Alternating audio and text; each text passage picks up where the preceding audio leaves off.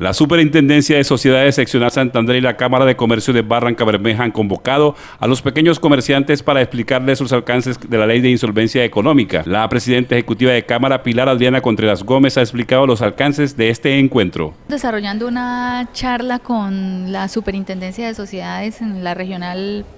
Santander. Eh, está con nosotros la doctora Marcela Ogriastri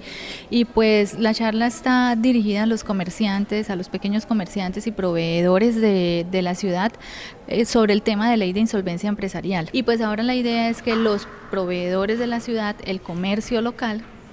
que pues que normalmente le proveen servicios o, productos a estas empresas contratistas sepan qué es la, ley de insolvencia, qué, qué empresas eh, pueden acogerse a esta ley. Destaca la ejecutiva el acompañamiento de las dos entidades, Superintendencia y Cámara de Comercio, que realizan para evitar el colapso o la quiebra de las empresas. Desde la Cámara de Comercio desde hace muchos años el mecanismo del paz y salvo con, con los contratistas de Ecopetrol y pues eh, eso nos ha permitido tener una información veraz sobre eh, las deudas de las, de las empresas contratistas, por lo menos de Ecopetrol, que es uno de los mayores em, eh, contratistas, contratantes en Barranca Bermeja, que sus contratistas, lo que sus contratistas le deben al comercio local y por qué razones están